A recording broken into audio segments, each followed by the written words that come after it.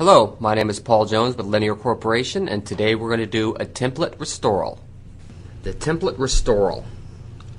What we've done is on this memory stick, we have put 2, 4, 6, 8, 10, 12, and 14 door installations.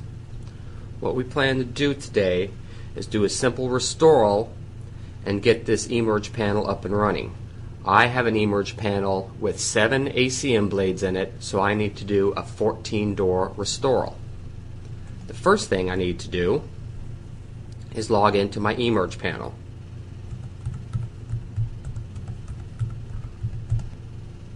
Once I'm logged in, I'll go to Setup, System Maintenance, Restore System.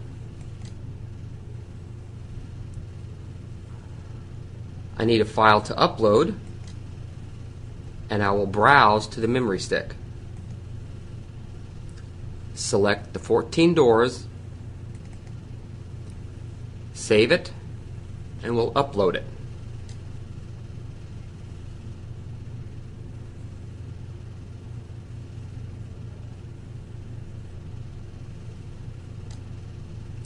Once uploaded, we'll return to the restore page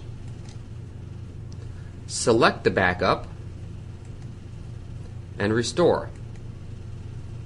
We do want to replace the current system with the contents of the backup, so I'll select OK. And the restore has begun. Depending on the speed of the computer you're using, it could take up to 20 minutes. Uh, the computer I'm using, it normally takes 5 to 8 minutes. Once I see the restore has been completed, I need to go in and see if the unique identifier that the template was created on is in the network controller area. So I will select Site Settings, Network Controllers, and I indeed see two unique identifiers. We name this node Controller Node. What I need to do is swap the unique identifiers and do a node swap. So I will select Controller Node, Commands, Swap. Select the unique identifier and save. We do want to swap the unique identifiers, so I'll select OK. It's always a good idea at this point to go ahead and log out and log back in.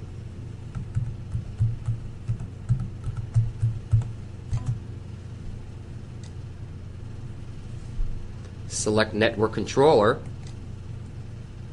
and I indeed see that my controller node is connected. It's always a good idea to go in and look at the blades and make sure that the restoral is complete. So I will select Controller Node, Blades, and I'm looking for the labeling of the blades. We have labeled these blades Door 1, Door 2, and so on.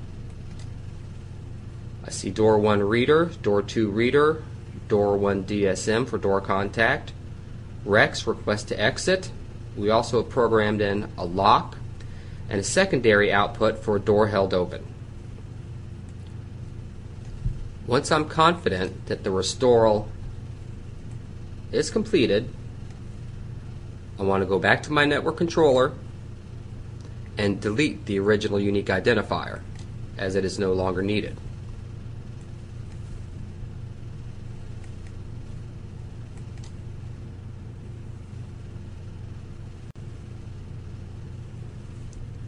I'll go back to network controller and I do have one controller. It is connected. I'm ready to test. Before I do that, I need to add a card. So I will select Administration, People, and I'll do a search. As this is the initial test, I will just use a System Administrator.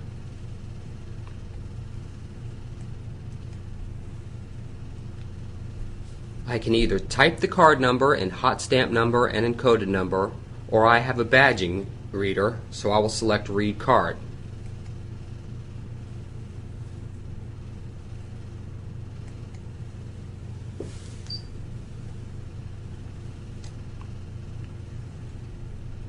Note the card number, and if you're using the linear IEI cards, there has been a format already created for you. We've also created an access level, all access, which is all the doors. Then I'll save. And it's time to begin testing. I'll go to Monitor, Activity Log, and I'll begin testing my doors.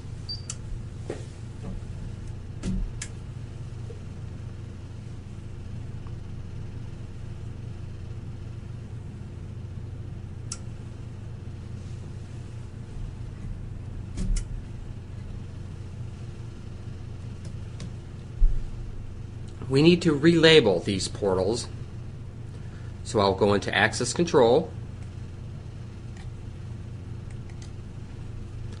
Portals.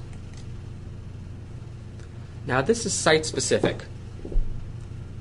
My door 1 is actually the front door, so I will rename it front door.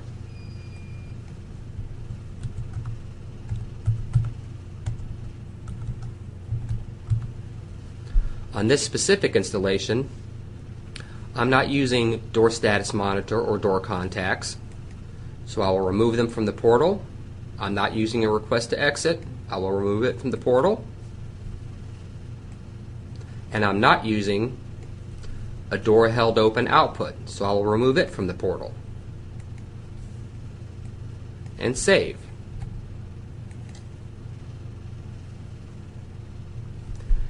After I've re renamed my portal, I need to rename my blade. So I will go into Network Node, Blades, Access Blade. Reader number one is actually the front door associated with that portal, so I will relabel it.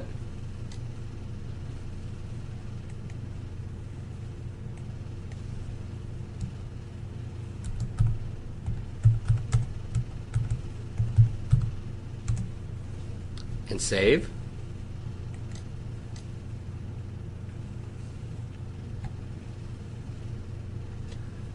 I will take out the door status monitor that has been pre-programmed in.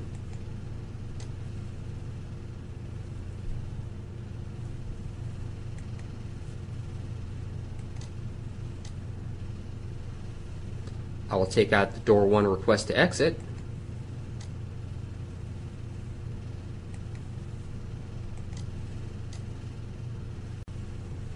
and I will also remove the secondary output.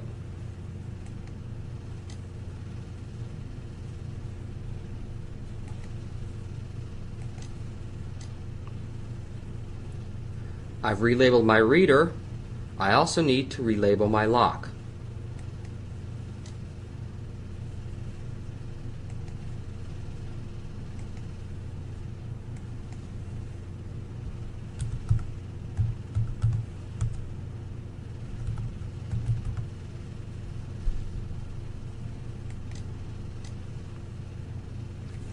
Once I've relabeled all my blades, it's a good idea to do one more test